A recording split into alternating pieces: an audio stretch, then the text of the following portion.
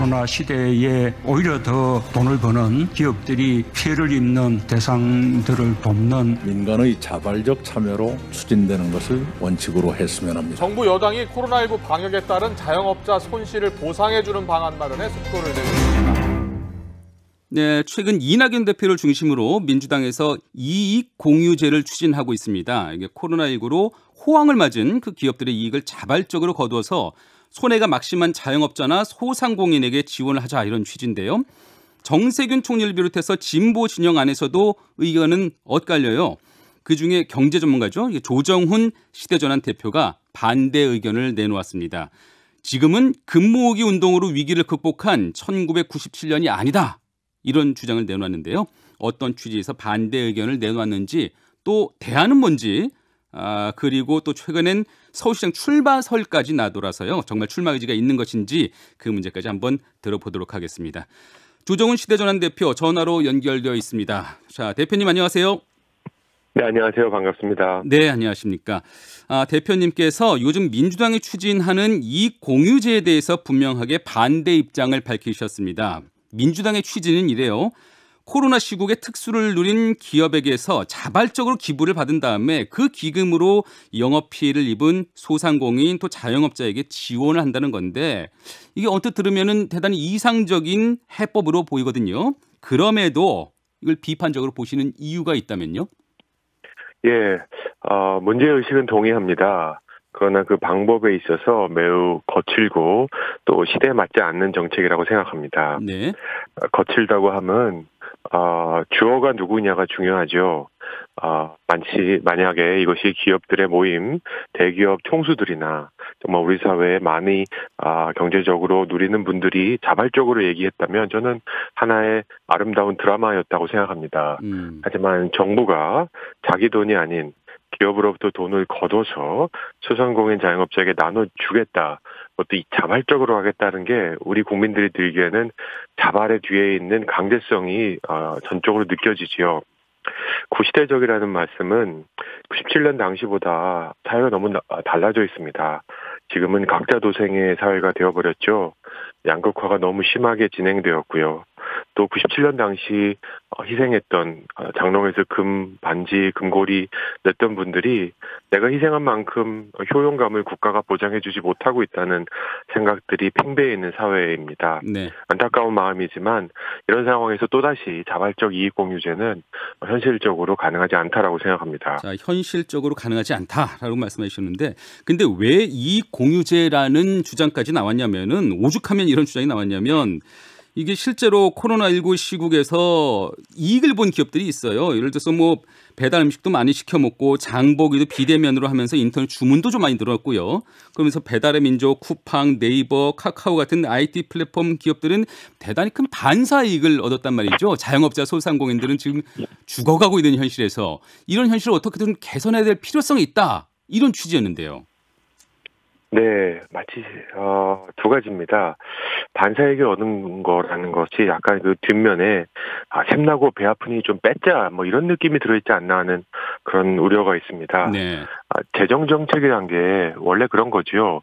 부가 있는 곳에 과세해서 어, 가난하고 어려운 분들에게 이전하는 효과입니다. 네. 저는 재정 정책의 본질 또는 원칙으로 돌아가면 됩니다. 아, 올해 소득을 더 평년보다 많이 올린 분이 분명히 있습니다. 말씀하신 기업들뿐만 아니라 다른 기업들이 있지요. 아, 그런 곳에 엄격하게 과세하면 됩니다. 음. 아, 반사이익을 얻었다고 올해 돈 더 내. 그럼 내년엔 또 어떤 기업이 돈 더 내라고 할지 모르거든요. 네. 시장은 대단히 어려운 복잡계입니다. 이 복잡계인 시장을 가지고 자꾸 수동 조작하려는 느낌이 듭니다. 음. 가능한 한 우리가 갖고 있는 시장 경제 제도와 조세 제도의 기본을 어, 충실히 에, 운영하면 저는 반사이익을 얻은 기업들은 당연히 올해 세금 더 많이 내시지 않겠습니까? 매출이 늘어나고 수익이 늘어나니까 네. 어, 그런 적극적인 소, 소득 있는 곳에 부가 있는 곳에 과세하고 또 부가 없는 곳에 아, 이것을 이전해서 베푼다 라는 정, 재정 정책에 충실하면 된다고 생각합니다. 예. 근데 과세를 하기 위해서는 법제도를 좀 정비해야 될 필요도 있고 시간도 좀 걸리고요.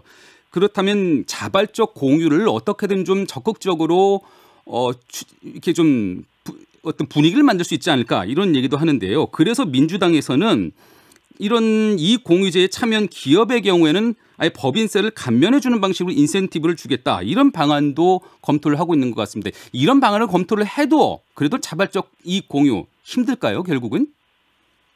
네, 어, 자영업자분들 대기업 말고요. 자영업자분들에게 이익공유제에 대한 반응을 물어보면 냉담합니다. 네. 이 자발성 더 이상 믿지 않죠. 왜냐하면 지난 착한 임대인 운동 이미 실패했잖아요. 음. 우리 사회는 특히 경제적 문제 그리고 서로 어, 자기의 것을 내놓는 문제에 있어서 자발적 참여 방식이 작동하는 한계가 명백히 드러난 사회라고 생각합니다. 네. 예. 우리 사회 구조적인 모습이 많이 달라져 있는 거죠. 자꾸 우리 IMF 때 시대를 생각해서 어려울수록 십시일반 나눠 갖자라고 하는데 냉정하게 봐야 됩니다. 그때와 지금은 너무너무 다른 사회이고 모든 사회 경제적 수치, 특히 양극화가 너무너무 진행된 사회이기 때문에 이 자발성에 의지하기보다는 법과 제도를 사용해서 국민 정서에 맞는 법과 제도를 통해서 아, 우리 정부가 원하는 이익 공유든 고통 분담이든 정책을 실현하지 않으면 어, 정말 아, 빙산의 일각에 그 효과는 그칠 것이라고 생각합니다. 그러네요. 자, 이 문제에 대해서 청취자 여러분들도 의견 보내와 주시고 계신데요. 별해는 밤님은 어, 정부가 이거 속칭모, 속칭모 시쳇말로 삥 뜯기 하는 거죠. 자본주의 사회에서 얼토당토하는 제도입니다라고 의견을 보내주시는 분이 계셨고 또 청취자 김세준님 그동안 기업은 소비자들 덕에 이익을 본 거니까 어려운 때 자발적으로 사회 기여, 기여할 필요가 있다 이런 의견도 어, 보내주시고 계십니다. 자, 이익 공유제에 대해서는 그 조정 대표님 일단 선을 그었고 그러면은 자, 그 대표님이 생각하시기에 이익 공유제보다 코로나19로 지금 이제 타격을 받은 소상공인과 자영업자들 더 효율적으로 지원해 줄 수 있는 방안 그 대안은 뭘로 찾고 계세요? 네, 전 두 가지를 제안드립니다. 네. 어, 가장 필요한 거는 어, 소상공인과 자영업자 아, 영업 제한, 어, 집합 제한으로 손실을 받은 분들에 대한 직접 보상이 필요합니다. 네. 아, 우리 정부가 이거 지진 난 게 아니거든요. 어, 아, 전염병을 어, 방지하기 위해서 정부가 아, 특정 어, 가게 소상공인과 자영업자 영업을 제한한 겁니다. 헌법 23조에 해당하는 거죠. 정부가 공정한 목적을 위해서 공공성을 위해서 재산을 제한할 경우 정당한 보상을 해야 된다. 그래서 저는 보상이 먼저라고 생각하고요. 손실에 대한 직접 보상. 그렇습니다. 네. 그리고 이 보상에 대한 원칙, 어, 비례성, 어, 손실 난 만큼 보상해 준다. 아, 그다음에 재정의 가능성, 재정이 감당할 수 있는 만큼 보상해 준다. 즉시성, 어, 다 끝난 다음에 하는 게 아니라 피해를 당했을 때 즉시 즉시 보상해 주고 마지막으로 예측 가능하게 이게 정부와 정쟁, 정치권의 논쟁에 의해서 조금 더 주고 말 주고가 아니라 법과 제도화돼 있어서 영업을 제한하면 정부가 당연히 보상을 해준다라는 그런 여러 가지 원칙들이 이번에 마련되어야 된다고 생각합니다. 네, 네. 그게 보상이고요. 네. 두 번째는 이제 지원책이죠. 자, 그렇게 하더라도 코로나로 인해서 매출이 급감했지 않습니까? 우리가 정부가 영업 제한, 집합 제한 하기 전에부터. 네. 자, 그러면 이건 어떻게 하는 것이냐. 시장이 어디가 지금 작동하고 있지 않나를 살펴보면 이거 분명합니다. 공급이 모자라서가 아니라 시장에 모자란 물건 없거든요. 수요가 부족한 상황입니다. 네. 어떻게 하면 우리 어, 경제에 수요를 창출할 수 있을까, 수요를 자극할 수가 있을까 하는 정책이 중심적으로 필요한데요. 그러기 위해서 제가 계속 보편적 재난지원금, 보편적 기본소득들을 제공해서 어, 우리 국가에 소비하는 문화, 소비할 수 있는 분위기를 다시 한번 만들어줘야 된다.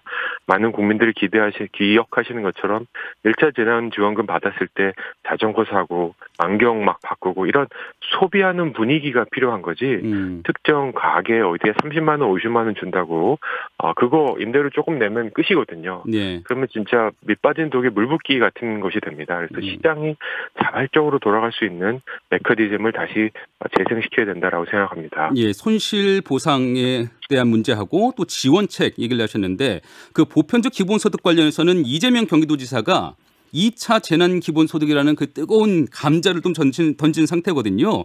이거에 대해서는 지금 여야에서도 입장이 좀 엇갈리고 있는데 어, 내용은 1인당 10만 원씩 보편적으로 지급하겠다. 이 방안에 대해서는 조정훈 대표님 생각은 어떠세요? 예, 이것이 뜨거운 이유가 뭘까가 아, 답의 본질의 핵심입니다. 네. 아, 우리 국민 여러분들께서, 시민 여러분들께서 1차 재난지원소득의 효용감을 체감하셨고요. 다만, 아직까지 경제를 과거의 형태로 운영하고자 하는 그런 여러 가지 생각들 가지고 계신 분들이 이게 포퓰리즘이다. 이거 효과 없다라고 말씀하시는데, 아, 저는 어, 지금 1인당 10만 원, 경기도 한 1,400만 되지요. 그러면 이게 1조 4천억 원짜리 정책입니다. 예. 경기도에서 집행하는 자 1조 4천억 원의 경기 부양 정책이 재난지원금, 보편적 재난지원금 외에 다른 어떤 정책이 경기를 이만큼 살릴 수 있을까 찾아보기 어렵습니다. 음. 또 말씀하신 제가 말 계속 강조하지만 이런 과정을 통해서 소비의 분위기를 증진시키지 않으면 지금 가게마다 쌓여 있는 재고 아 그리고 물건들 절대로 소비할 수 없습니다. 음. 그래서 저는 이건 경제 정책으로서도 가능하고요. 지금 침체돼 있고 우울한 우리 경제 분위기, 사회 분위기를 살리는데도 반드시 필요하다고 생각합니다. 알겠습니다. 자, 대표님 이 질문도 한번 드려보고 싶습니다. 지금 대표님을 상대로 서울시장 보궐선거 출마설이 나와서요. 어, 어떻게 좀 고민하고 계신가요? 입장을 좀 정리하고 계시는 중인가요? 네, 아, 귀를 크게 열어놓고 여러분들의 의견을 듣고 있습니다. 저는 본질적으로 이번 4월 7일 보궐선거는 부끄러운 선거라고 생각합니다. 네. 아, 두 가지 이유로 부끄러운데요. 첫 번째는 보궐선거를 하게 된 이유에서 부끄럽다고 생각합니다. 특히 서울시장 선거에 대해서는 더 그렇죠. 뭐 국민 여러분께서 잘 아실 거고요. 두 번째는 그래서 1년 좀 넘는 임기에 시장을 뽑기 위해서 수백억 우리 국민들의 혈세를 써야 되는 선거입니다. 네.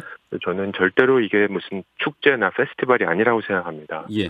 아, 정치 신인이지만 저도 정치인의 한 사람으로서 이 어떻게 이 부끄러운 선거를 의미 있게 만들어야 되느냐 하는데 안타까운 것은 모두 훌륭한 후보분들이 나오셨지만 아직도 그 사람 아, 아직도 땡땡땡, 아직도 땡땡땡, 아, 이제는 세 사람, 이, 이, 그 구도가 전혀 나오지 않고, 아, 마치 한 10년 전에 있었던, 아, 뭐라 그럴까요. 지나간 가수들, 흘러간 가수들이 부활전 또는 재방송을 보는 느낌이 듭니다. 음. 그래서 저는 어떻게 하면 이 부끄러운 선거를 어, 우리 시대가 한 발짝 다시 앞으로 나아갈 수 있는 정치는 선거를 통해서 에너지가 생기고 특정한 정책들을 현실화시키는 어, 그런 기폭제가 되는 거지 않습니까? 네.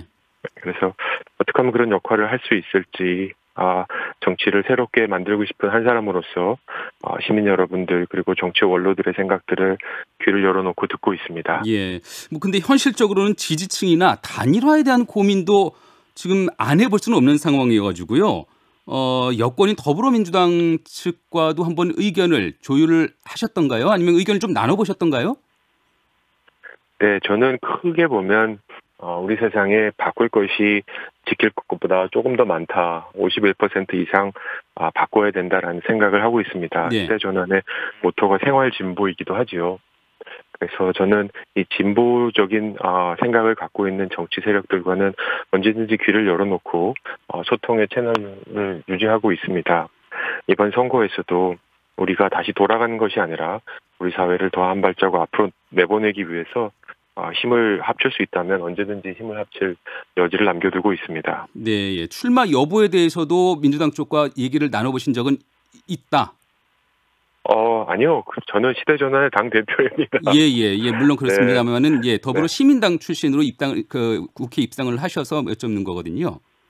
네, 아, 물론 그렇죠. 그때도 이제 비례연합 정당을 만들면서 정치의 다양성을 어, 살리겠다라는 민주당의 아, 취지에 동의해서 저도 합류한 거고 기본소득당과 다른 시민 후보들과 함께했던 거지요. 아, 저는 이번 보궐선거에서 과연 우리가 아, 서울을 어떻게 다시 만들어 나갈 것인가 아, 고민하는 분들과 아, 크게 한번 아, 목소리를 열어놓고 채널을 열어놓고 소통하는 장이 열릴 거라고 생각합니다. 알겠습니다. 예, 오늘 말씀 여기까지 듣겠습니다. 네, 감사합니다. 네, 지금까지 시대전환 조정훈 대표였습니다. 김현정의 뉴스쇼는 청취자 여러분의 참여로 이루어집니다. 트위터, 페이스북, 레인보우 게시판, 그리고 단문 50원, 장문 100원의 유료 문자 샵 1212, 우물정 1212 통해 참여하실 수 있습니다. 김현정의 뉴스쇼 여러분과 함께 만듭니다.